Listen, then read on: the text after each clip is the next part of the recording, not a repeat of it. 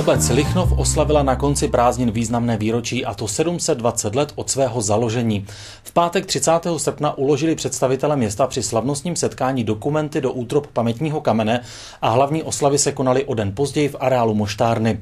Hlavní hvězdou večera byl banjo band Ivana Mládka a rock'n'roll band Marcela Woodmana. Před 40 lety při oslavách 680 let od první písemné zmínky o obci uložili tehdejší představitelé obce do pamětního kamene schránku se zakladajícími listy obce Lichnov a dokumenty popisující historii té doby. I v letošním roce přidali do kamene další tubus s písemnostmi mapující současné dění v obci – Nechybí tak usnesení z jednání zastupitelstev Arad, fotografie, aktuální vydání novojčínského deníku a podobně. Po slavnostním setkání zamířili hosté do kulturního zařízení, kde byla instalována výstava fotografií a předmětů několika spolků, které v obci působí. Prostřednictvím fotek si návštěvníci připomněli život lidí, historii obce a také některá její zákoutí. Součástí prezentace byl i snímek o povodních z roku 1997 a film k 720 letům Lichnova. Vzhledem k velkému zájmu výstava pokračovala ještě celý týden až do 6. září. Video o oslavách 720 let přislíbili zástupci obce vydat na DVD.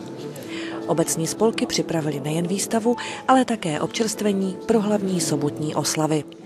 Ty začaly v areálu Moštárny od 15 hodin představením divadelního spolku Podvěží ze Štramberku.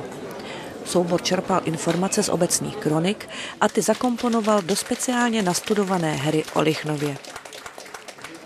Představení zahájil průvod, v jeho čele jel olmoucký biskup Stanislav, který starostovi předal první listinu Fojta Lichnovského. Pak pokračovalo vystoupení plné zpěvu a tance. Dalším hostem programu byla místní dechová hudba. První zmínka o dechovce v Lichnově se datuje až do roku 1875. Od roku 1988 existuje pod názvem Javořinka. V průběhu dne nechyběl i doprovodný program pro děti.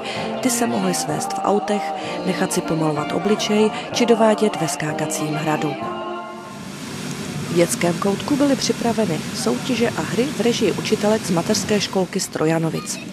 Kulturní program zaujal i tím, že byl zcela zdarma. Ovšem největším lákadlem to byl banjo band Ivana Mládka, který vystoupil na hlavním pódiu po 19. hodině.